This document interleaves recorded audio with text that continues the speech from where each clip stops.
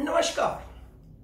ਆਓ ਅੱਜ ਇੱਕ ਅਜਿਹੇ ਵਿਸ਼ੇ ਤੇ ਗੱਲ ਕਰੀਏ, ਜਿਹੜਾ ਸਾਡੀ ਵੱਧਦੀ ਹੋਈ ਉਮਰ ਨਾਲ ਤਕਰੀਬਨ ਹਰ ਇੱਕ ਨੂੰ ਇਹ ਸਮੱਸਿਆ ਦਾ ਸਾਹਮਣਾ ਕਰਨਾ ਪੈਂਦਾ ਸਾਡੇ ਮੋਢਿਆਂ ਦਾ ਫਰੋਜ਼ਨ ਸ਼ੋਲਡਰ ਮੋਢੇ ਜਾਮ ਹੋ ਜਾਂਦੇ ਨੇ। ਉਹਨਾਂ ਦਾ ਅਸੀਂ ਕਿਵੇਂ ਇਲਾਜ ਕਰ ਸਕਦੇ ਹਾਂ? ਇੱਕ ਸਿੰਪਲ ਜੀ ਐਕਸਰਸਾਈਜ਼ ਨਾਲ। ਅਸੀਂ ਬਹੁਤ ਬਹੁਤੇ ਪ੍ਰਯੋਗ ਕਰਕੇ ਦੇਖਿਆ ਹੈ ਵੀ ਜਿਹੜਾ ਜਦੋਂ ਮੋਢਾ ਜਾਮ ਹੋ ਜਾਂਦੇ ਹੈ ਨਾ, ਉਦੋਂ ਬਹੁਤ ਤਕਲੀਫ ਹੁੰਦੀ ਹੈ। ਤੇ ਇੱਕ ਸਿੰਪਲ ਜਿਹਾ ਪ੍ਰਯੋਗ ਹੈ ਵੀ ਖੜੇ ਹੋ ਕੇ ਦੋਹੇ ਹੱਥਾਂ ਨੂੰ ਪਕੜ ਕੇ, ਬਿਲਕੁਲ ਸਿੱਧੇ ਕਰਕੇ ਹੌਲੀ ਹੌਲੀ ਅਸੀਂ ਸਾਹ ਭਰਦੇ ਹੋਏ ਇਹ ਉੱਪਰ ਲੈ ਕੇ ਜਾਂਦੇ ਹਾਂ। ਤੇ ਸਾਹ ਛੱਡਦੇ ਹੋਏ ਅਸੀਂ ਵਾਪਸ ਲੈ ਕੇ ਆਉਂਦੇ ਹਾਂ। ਇਸ ਨੂੰ ਅਸੀਂ ਜੇ ਸਵੇਰੇ ਸ਼ਾਮ 100-100 ਵਾਰੀ ਕਰ ਲਈਏ, ਤਾਂ 5-7 ਦਿਨਾਂ ਦੇ ਵਿੱਚ ਸਾਡਾ ਜਿਹੜਾ ਫਰੋਜ਼ਨ ਸ਼ੋਲਡਰ ਹੈ, ਉਹ ਠੀਕ ਹੋਣ ਦੀ ਸੰਭਾਵਨਾ ਰਹਿੰਦੀ ਹੈ। ਹੁਣ ਖੜੇ ਹੋ ਕੇ ਮੈਂ ਤੁਹਾਨੂੰ ਇੱਕ ਕਰਕੇ ਦਿਖਾਉਣਾ, ਦੇਖੋ ਕਿਸ ਤਰ੍ਹਾਂ।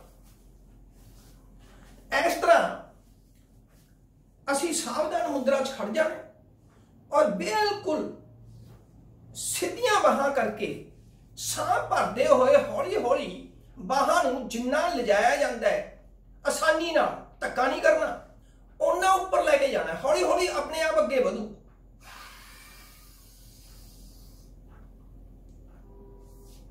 ਸਾਹ ਛੱਡਦੇ ਹੋਏ ਵਾਪਸ।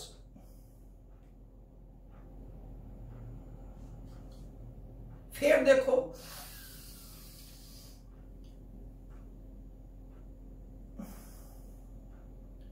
ਜਦੋਂ ਫਰੋਜ਼ਨ ਸ਼ੋਲਡਰ ਹੋਇਆ ਹੁੰਦਾ ਕਈ ਵਾਰੀ ਇੱਥੇ ਤੱਕ ਹੀ ਬਾਹ ਜਾਊ, ਇੱਥੇ ਤੱਕ ਹੀ ਲੈ ਕੇ ਜਾਣਾ ਇੱਕ ਦੋ ਦਿਨਾਂ ਬਾਅਦ ਆਪਣੇ ਆਪ ਗਾਹਾਂ ਵਗ ਜੂ ਉਦੋਂ ਬਾਅਦ ਫੇਰ ਗਾਹਾਂ ਵਗ ਜੂ ਹੌਲੀ ਹੌਲੀ ਆਪਣੇ ਆਪ ਜਾਣਾ ਹੈ ਉਹਨੇ ਕਰਨਾ ਹੈ 10 ਵਾਰੀ ਕਰਕੇ ਅਸੀਂ ਫੇਰ ਰੁਕ ਜਾਣਾ ਹੈ ਥੋੜਾ ਜਿਹਾ ਰੈਸਟ ਕਰ ਲੈਣੀ ਹੈ, ਫੇਰ 10 ਕਰਨੇ ਇਸ ਤਰ੍ਹਾਂ 10 10 ਦੇ 10 ਰਾਉਂਡ ਕਰਨੇ ਹੈ। 100 ਸਵੇਰੇ 100 ਸ਼ਾਮ ਨੂੰ। ਜੇ ਦੁਪਹਿਰੇ ਟਾਈਮ ਹੈਗਾ ਤਾਂ ਕਰ ਲਓ, ਤੇ ਨਹੀਂ ਸਵੇਰੇ ਸ਼ਾਮ ਦੇ ਨਾਲ ਹੀ ਤੁਸੀਂ ਦੇਖਿਓ ਕਿੰਨਾ ਫ਼ਰਕ ਪੈ ਜੂ। ਨਹੀਂ ਤਾਂ ਪੇਨ ਕਿਲਰ ਲੈਣਾ ਪਊ ਬਸ ਇੰਪੋਰਟੈਂਟ ਗੱਲ ਇਹ ਹੈ ਵੀ ਬਾਹਾਂ ਬਿਲਕੁਲ ਸਿੱਧੀਆਂ ਹੋਣ ਔਰ ਸਵਾਸ ਕਿਰਿਆ ਦੇ ਨਾਲ ਇਸ ਨੂੰ ਕਰਨਾ ਇੰਨਾ ਕੰਮ ਹੈ ਬਸ।